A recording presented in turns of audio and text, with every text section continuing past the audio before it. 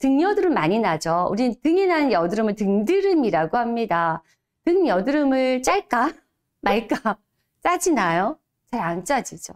이런 경우에는 여드름을 짜시면 아니 됩니다. 이런 경우에는 와이드 티트리와 라벤더를 반반 섞어서 원액을 도포해 주시면 돼요. 그냥 발라주기만 해도 진정 효과가 굉장히 뛰어나요. 이 경우에는 모낭염이기도 하지만 피부 염증 수치가 되게 높아요.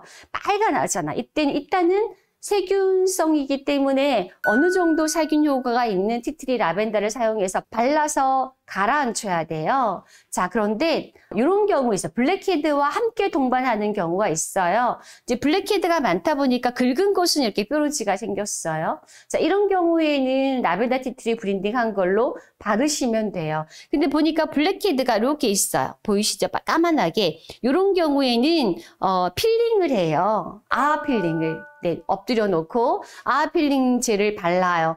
발라서 한 20분 정도를 방치해 뒀다가 깨끗이 닦아내요. 자, 닦아내고 나서 스킨 바른 다음에 여기 남아있는 까만 남아있는 이런 부분만 면봉을 갖다 대고 짜셔야 되는데 짤 때 거리, 거리, 뿌리까지 누르는 거 꼭 기억하시고요.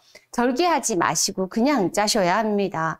근데 이제 보통 이 등 여드름은요, 이 경우에는 절대 짜지 못하는 거고, 블랙헤드가 크게 있는 경우만 짤 수 있습니다. 근데 보통 이 정도보다는 어, 보통 이렇게 돼 있거나 못 짜는 여드름이 되게 많을 거예요. 등드름이. 그런 경우에는 짜지 마시고 그냥 와일드 티트리와 라벤더를 블렌딩한 것을 아침 저녁 발라서 흡수하기만 하셔도 어느 정도 예방할 수 있고 많이 완화될 수 있습니다.